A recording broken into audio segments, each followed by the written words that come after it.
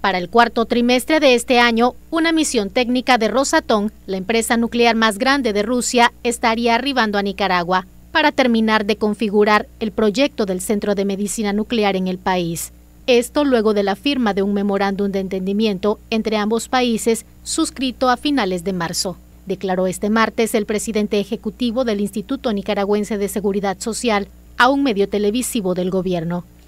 Lo que sigue ahora mismo es que esperamos una misión, eh, un equipo técnico que va a venir de Rosatom para ya elaborar, configurar cuántos equipos vamos a tener en este, en este centro, cuántas habitaciones, cómo va a ser la distribución de las habitaciones. Entonces se va a elaborar el proyecto de manera que para octubre o tercer trimestre o cuarto trimestre de, este año ya tengamos el proyecto concreto para hacer lo, obtenido su financiamiento y empezar la construcción esperamos el año, el año que viene.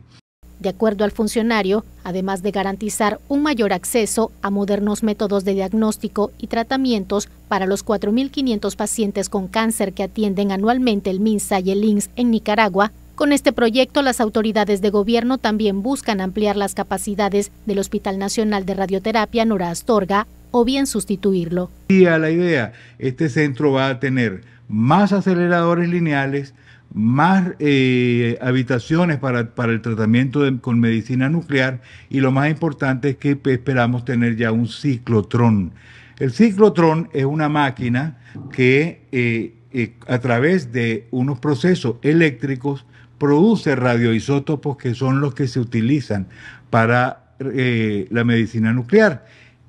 De manera que vamos a poder tener acceso a más radioisótopos para otros tipos de tratamiento y además para otros tipos de diagnóstico. la hoja de ruta lo que establece es los pasos que van a seguir. Nosotros este, creemos que ahora vamos a tener la posibilidad con este centro de, de probablemente eh, o sustituir al Nora Astorga o ampliar las capacidades. Eso, eso se va a, revisar y vamos a poder poner el primer PET scan en Nicaragua, que es una versión muchísimo más moderna de la gama cámara que tenemos ahorita en el Nora Astorga. Este importante proyecto también incluye la preparación en medicina nuclear del personal médico que estará a cargo de la atención de los pacientes.